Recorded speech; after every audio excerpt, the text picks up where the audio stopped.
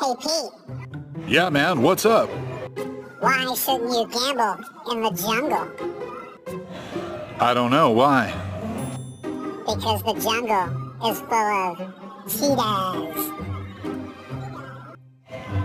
Oh, and they call me an ass.